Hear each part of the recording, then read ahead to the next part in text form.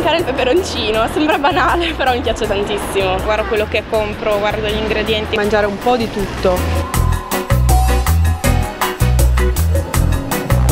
Deve essere tutto ordinato e poi devo avere le cose, cioè me le devo preparare prima. Per esempio devo usare quello, quello e quello, me le devo preparare prima.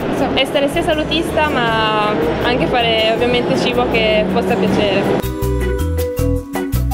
Regola d'oro è innanzitutto il libro da cucina, quello, il ricettario per me è fondamentale.